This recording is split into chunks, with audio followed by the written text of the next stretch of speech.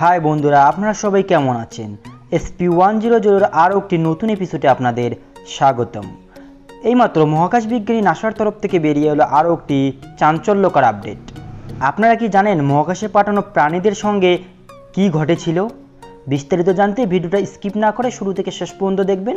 ভিডিওটা ভালো লাগে থাকলে একটা লাইক করে দেবেন। চ্যানেলে নতুন হয়ে থাকলে চ্যানেলটা সাবস্ক্রাইব করে পাশে থাকা বেল আইকনটি আলতো করে চাপিয়ে রাখবেন।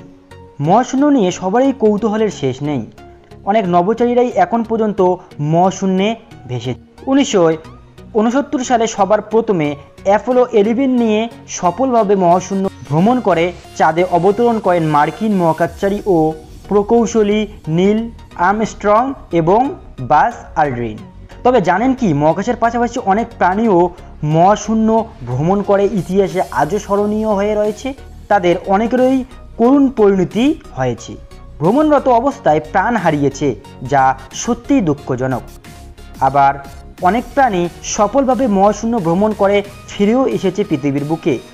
মাছি, সর্বপ্রথম মহাকাশে পাঠানো হয়েছিল মাছিকে।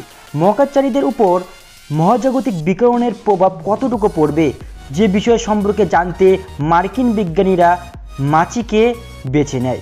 কারণ মাছি আর মানুষের মধ্যে জিনগত বিভিন্ন বিষয়ের মিল আছে।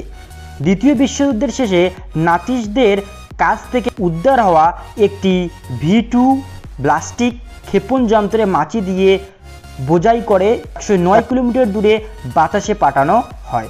পৃথিবীতে ফিরে আসার সময় মাছিগুলোর ক্যাপসুলটি নিয়ে মেক্সিকো থেকে প্যারাশুটের সাহায্যে নামানো হয়েছিল। ক্যাপসুলটি খোলার পরে বিজ্ঞানীরা মাছিগুলোকে জীবিত দেখতে পান। মহাজাগতিক বিকিরণের প্রভাবে কোনো প্রাণ পাওয়া যায়নি। তার বিজ্ঞানীরা বুঝতে পারেন, মানুষ অনায়াসী মহাশূন্য ভ্রমণ করতে পারবে। বানর এবং শিম্পাঞ্জি। এই পর্যন্ত বত্রিশটি বানর এবং শিম্পাঞ্জি মহাকাশে গিয়েছে। প্রথমবার দ্বিতীয় আলবার্ট নামক একটি বানর মহাকাশ যাত্রা করে। উনিশশো উনপঞ্চাশ সালে একশো চৌত্রিশ কিলোমিটার পৌঁছায় সে। তবে দুর্ভাগ্যক্রমে প্যারাশুট ব্যর্থতার কারণে পৃথিবীর বায়ুমণ্ডলের প্রবেশ মাত্রই মারা যায়। তার আগের বছর প্রথম আলবার্ট নামক একটি বানরকে পাঠানোর পরপরই মহাশূন্য পৌঁছানোর আগেই তার দম বন্ধ হয়ে মৃত্যু হয়। ইঁদুর মহাকাশ ভ্রমণ মানবদেহে কেমন প্রভাব ফেলবে সে সম্পর্কে বিস্তারিত জানতে বিজ্ঞানীরা একে একে অনেকগুলো ইঁদুর পাঠিয়েছিল মহাকাশে। নাসা সম্প্রতি আন্তর্জাতিক মহাকাশ স্টেশনে অবস্থিত ইঁদুরের একটি বিস্তারিত গবেষণার প্রকাশ করেছে।